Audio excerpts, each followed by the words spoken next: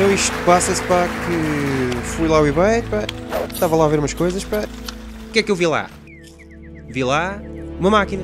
Aquilo dizia lá que pá, mudava radicalmente a minha vida.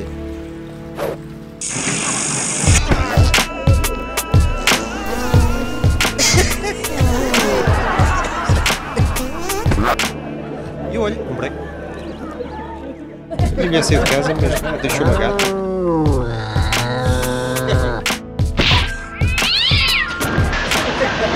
Na nós, eu e mais uns cromos, como eu, a partir nozes. E parti o emprego. Depois, fui despedido. E pronto, e lá estava eu, eh, a pensar na vida.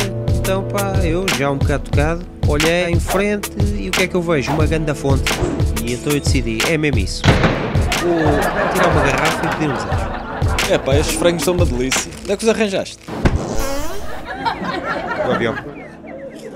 Ah, estava ouvindo no rádio pá, que o avião estava em apuros, pá, tinha perdido combustível em pleno voo. Pá, então fui lá, pá, fui perto.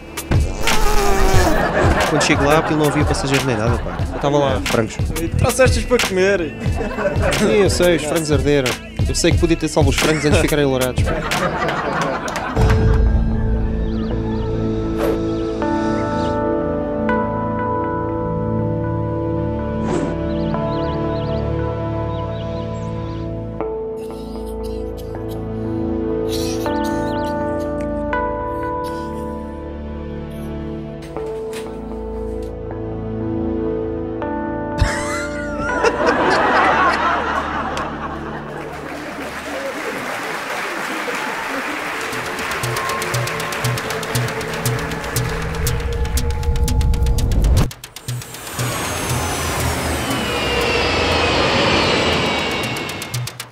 Ativar motores de propulsão.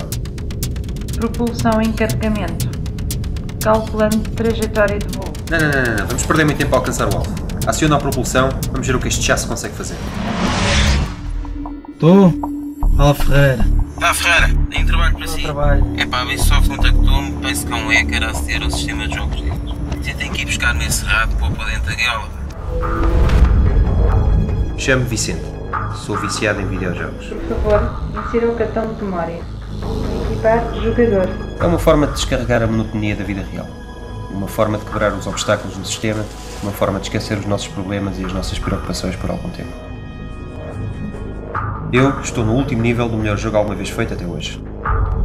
Tenho cá um feeling que eu vou ser o primeiro a acabar este jogo. Hoje, ninguém me vai parar.